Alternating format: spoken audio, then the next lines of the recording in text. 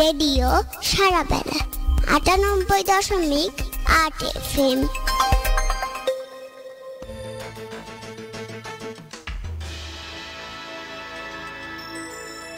আজ রোববার, চব্বিশ মাঘ চোদ্দশো সাতাশ বঙ্গাব্দ। সাত ফেব্রুয়ারি দু হাজার একুশ খ্রিস্টাব্দ এবং চব্বিশ জমাদিউ সানি চোদ্দশো বিয়াল্লিশ শুনছেন এবং দেখছেন রেডিও সারাবেলা আটানব্বই দশমিক আট এফএম সারাবেলার সন্ধ্যার সংবাদে সকলকে স্বাগত জানাচ্ছি আমি মাহফুজ ফারুক। শুরুতে জানিয়ে দিচ্ছি, এসকেএস হাসপাতাল প্রধান প্রধান শিরোনাম। গাইবান্ধায় প্রথম করোনার টিকা নিলেন জেলা প্রশাসক মোহাম্মদ আব্দুল মতিন। সকলকে ভ্যাকসিনের আওতায় আসার আহ্বান জানিয়েছেন জাতীয় সংসদের হুইপ মাহবুব আরা বেগম, গিনি এমপি। সুন্দরগঞ্জে স্বামীর কুড়ালের আঘাতে স্ত্রীর মৃত্যু, স্বেচ্ছায় পুলিশকে ধরা দিলেন স্বামী মঞ্জু মিয়া। সারা দেশে করোনায় একদিনের ব্যবধানে পনেরো জনের মৃত্যু, নতুন শনাক্ত দুশো বিরানব্বই জন। গাইবান্ধায় কোয়ারেন্টিনে যুক্ত আটজন প্রধানমন্ত্রী শেখ হাসিনার দেশ পরিচালনা বিষয়ে বই প্রকাশ করার পরিকল্পনার কথা জানিয়েছে পরিকল্পনা মন্ত্রণালয়। এবং চট্টগ্রাম টেস্টে ওয়েস্ট ইন্ডিজের বিপক্ষে হেরে গেল বাংলাদেশ। গাইবান্ধায় টি টোয়েন্টি ক্রিকেট টুর্নামেন্টে জয় পেয়েছে প্রবাহ চ্যালেঞ্জার্স। শুনছিলেন শিরোনাম। এই সংবাদটি আটানব্বই দশমিক আট এফএম এ সম্প্রচারের পাশাপাশি সরাসরি প্রচারিত হচ্ছে W W W dot radio Sarbela dot F M এবং রেডিও সারবেলা অ্যাপ থেকে। এছাড়া দেখতে পাচ্ছেন আমাদের একমাত্র অফিসিয়াল ফেসবুক পেজ ও YouTube channel radio Sarbela ninety eight point eight F M এ। গাইবান্ধায় টিকাদান কর্মসূচির উদ্বোধন করা হচ্ছে। আজ সকাল সাড়ে দশটায় গাইবান্ধা জেনারেল হাসপাতালে এই কর্মসূচির উদ্বোধন করেন জাতীয় সংসদের হুইপ মাহবুব আরা বেগম, গিনি এমপি। এরপর প্রথম টিকা নেন জেলা প্রশাসক মোহাম্মদ আব্দুল মতিন। পর্যায়ক্রমে সিভিল সার্জন সহ আরও অনেকেই টিকা গ্রহণ করেন। আরও জানাচ্ছেন লাবু আহমেদ। করোনায় জনজীবন বিপর্যস্ত হয়ে পড়লেও এখন আবিষ্কৃত হয়েছে ভ্যাকসিন। কিছুদিন আগে এই ভ্যাকসিন দেশে আনা হয়। এবার সারা দেশের মতো গাইবান্ধায় এর প্রয়োগ শুরু হয়েছে। ইতিমধ্যে ভ্যাকসিন নেওয়ার জন্য অনলাইনে নিবন্ধন করেছেন অনেকেই। টিকাদান কর্মসূচি আমরা অনলাইনে দরখাস্ত করেছিলাম এবং আজকে প্রথম উদ্বোধন আমাদের গাইবান্ধায়। এবং আমরা এই টিকাদানের জন্য এসেছি।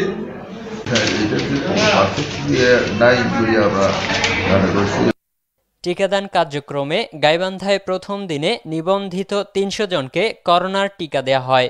এর মধ্যে প্রথম টিকা নেন জেলা প্রশাসক মোহাম্মদ আব্দুল মতিন। টিকা নিয়ে সুস্থ থাকার কথা বলেন জেলা প্রশাসক। গাইবান্ধায় প্রথম টিকাটা আমি নিলাম। আপনাদের সামনে আমরা বসে আছি। টিকা নেওয়ার আগে যা ছিলাম, এখন তাই মনে হয়েছে, কোনো পার্শ্ব টিকা আমি অনুভব করিনি।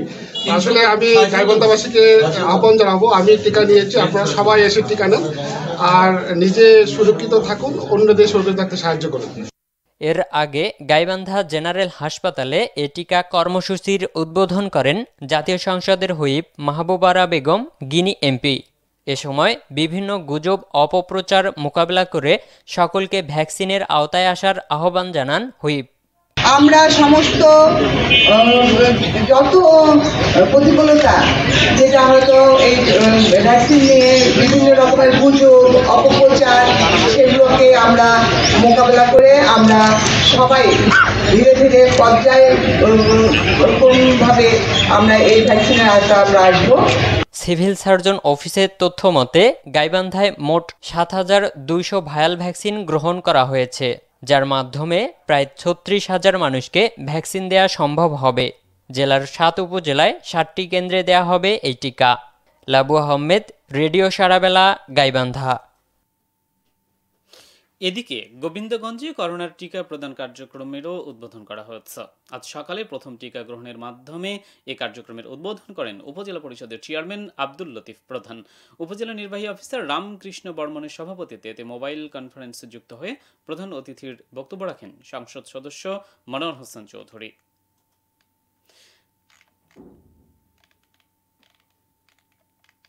সুন্দরগঞ্জে স্বামী মঞ্জু মিয়ার কুড়ালের আঘাতে স্ত্রীর মৃত্যু হয়েছে। আজ উপজেলার গোপাল চরণ গ্রামে এ ঘটনা ঘটে। মঞ্জু ওই গ্রামের নঈম উদ্দিনের ছেলে। জানা গেছে, দীর্ঘদিন থেকে স্ত্রী রেশমা বেগমের সাথে স্বামী মঞ্জু মিয়ার পারিবারিক বিরোধ চলে আসছিল। সকালে উভয়ের মধ্যে বাঘ বিতণ্ডার এক পর্যায়ে স্বামী কুড়াল দিয়ে তার স্ত্রীর মাঘা মাথায় আঘাত করেন। এতে ঘটনাস্থলে তার মৃত্যু হয়। এরপর থানায় এসে পুলিশের কাছে স্ত্রী হত্যার কথা স্বীকার করে মঞ্জু মিয়া। স্বীকারোক্তি মোতাবেক তাকে থানা হেফাজ থানা হাজতে নিয়ে ঘটনাস্থলে গিয়ে লাশ উদ্ধার করে পুলিশ। এ নিয়ে থানায় মামলা হয়েছে বলে জানিয়েছে সুন্দরগঞ্জ থানার পুলিশ পরিদর্শক বুলবুল ইসলাম। দেশে করোনায় একদিনের ব্যবধানে নতুন করে পনেরো জনের মৃত্যু হয়েছে। এ নিয়ে মোট মৃতের সংখ্যা বেড়ে দাঁড়াল আট হাজার দুশো পাঁচ জনে। অপরদিকে একদিনের ব্যবধানে করোনা শনাক্ত হয়েছেন দুশো বিরানব্বই জন। এ নিয়ে দেশে মোট শনাক্ত হলো পাঁচ লাখ আটত্রিশ হাজার বাষট্টি জন। এ সময়ের মধ্যে সুস্থ হয়েছেন পাঁচশো একত্রিশ জন।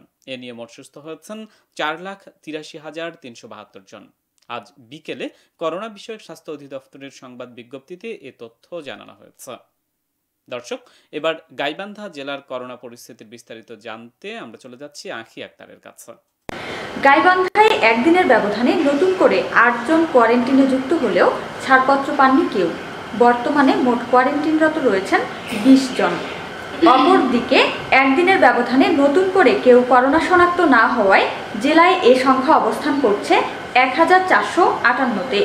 এদের মধ্যে মৃত্যুবরণ করেছেন ষোলো জন। এখন পর্যন্ত সুস্থ হয়ে বাড়িতে ফিরেছেন এক হাজার চারশো চৌত্রিশ জন। আর চিকিৎসাধীন রয়েছেন আটজন এ তথ্য নিশ্চিত করেছে সিভিল সার্জন অফিস গাইবান্ধা। দর্শক, গাইবান্ধা জেলার করোনা পরিস্থিতির বিস্তারিত জানাচ্ছিলেন আখি আক্তার। এদিকে বিশ্বের বিভিন্ন দেশে করোনায় আক্রান্তের সংখ্যা ছাড়িয়েছে দশ কোটি তেষট্টি লাখ।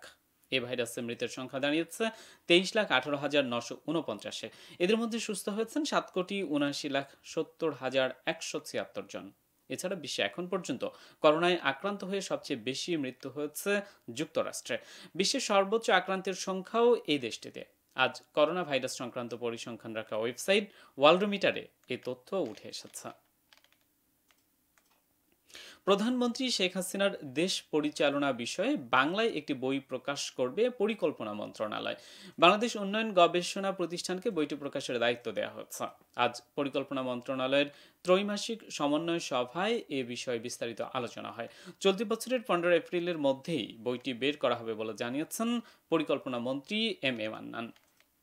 এবার খেলার প্রসঙ্গ।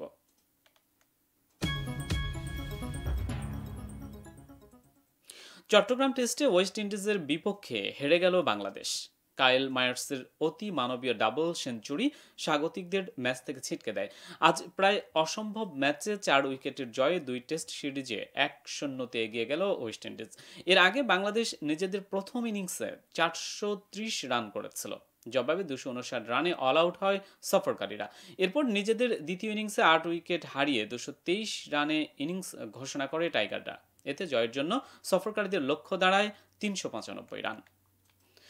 এদিকে গাইবান্ধায় হানিফ, দুলু, দর্পণ, ডাবলু, স্মৃতি, টি টোয়েন্টি ক্রিকেট টুর্নামেন্টে জয় পেয়েছে প্রবাহ চ্যালেঞ্জার। আজ শাহ আব্দুল হামিদ স্টেডিয়ামে এই টুর্নামেন্টের আয়োজন করে গাইবান্ধা ক্রিকেটার্স ওয়েলফেয়ার অ্যাসোসিয়েশন।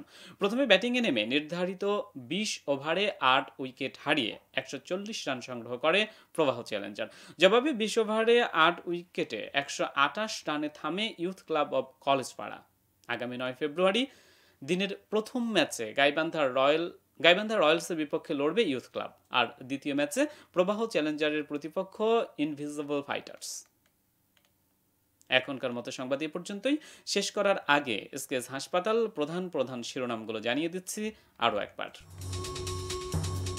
গাইবান্ধায় প্রথম করোনার টিকা নিলেন জেলা প্রশাসক মোহাম্মদ আব্দুল মতিন। সকলকে টিকার আওতায় আসার আহ্বান জানিয়েছেন জাতীয় সংসদের হুইপ মাহবুব আরা বেগম গিনি এমপি সুন্দরগঞ্জে স্বামীর কুড়ালের আঘাতে স্ত্রীর মৃত্যু, স্বেচ্ছায় পুলিশকে ধরা দিলেন স্বামী মঞ্জু মিয়া।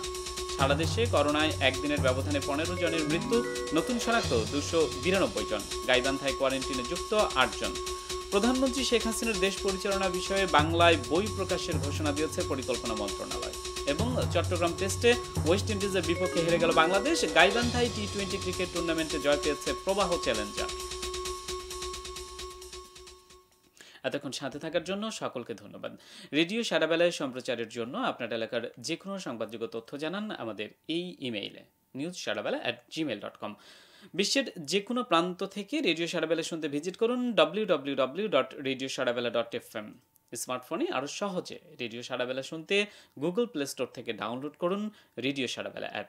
এছাড়া সন্ধ্যার সংবাদটি দেখতে পাচ্ছেন আমাদের একমাত্র অফিসিয়াল ফেসবুক পেজ ও YouTube channel radio Sarabela ninety eight point eight F আমাদের পরবর্তী সংবাদ প্রচারিত হবে রাত নটা পঁয়তাল্লিশ মিনিটে।